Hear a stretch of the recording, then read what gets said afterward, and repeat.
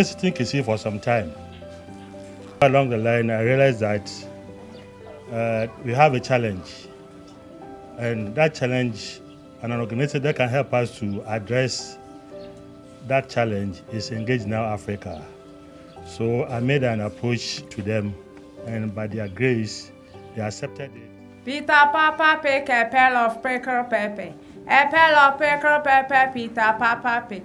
If Peter Papa pick a pair of pickle pepper, where is a pair of pickle pepper Peter Papa pick? Thank you.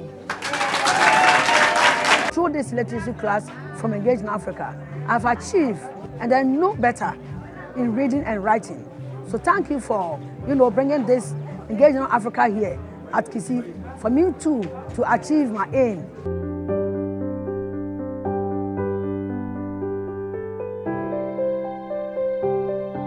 If you see me as I'm standing here, uh, I'm having a floppy ear. Look at me very well. My ears are very floppy. colors that form the rainbow is red, orange, yellow, green, blue, indigo, and violet. Violet. This program has helped me a lot. At first, I'm a student, but I've completed a long time, 2000, two, year 2000. So, because I'm not uh, learning, I forget a lot of things. But because of this program, I refresh my mind and now I can speak English and both business matter, this thing, all of them I can speak. He, me, God, his, your, you, come, came, there.